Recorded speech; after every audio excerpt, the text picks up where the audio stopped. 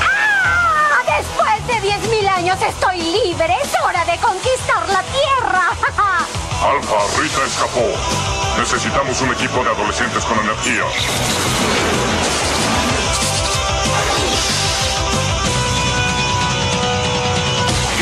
Power Rangers.